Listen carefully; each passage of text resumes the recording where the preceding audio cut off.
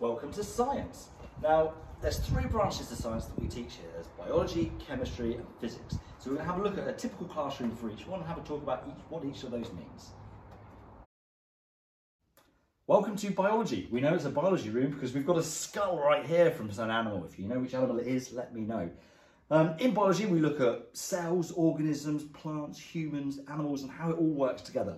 We get to use great models to see how the inner workings of life works, um, begin and where they go. So it's a really exciting, real uh, subject, uh, and sometimes you get to do some great experiments.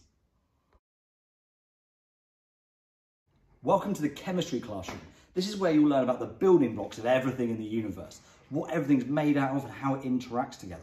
Uh, so you get to do some great experiments in this room of mixing things and causing explosions. We've got apparatus in here that means that you can do the work and if it explodes you don't get into damage. So we have to make sure that we follow everything correctly. It's really exciting. Now, we probably shouldn't go in here. It does say pupils do not enter. This is our uh, prep room for science where all the chemicals are stored, all the equipment is. It's an exciting kind of treasure trove of devices and things to do experiments with. So it's really exciting, but shh. And this is a typical physics classroom where we learn about how things work together. We've got work that students have done about models of the solar system and how planets work and gravity.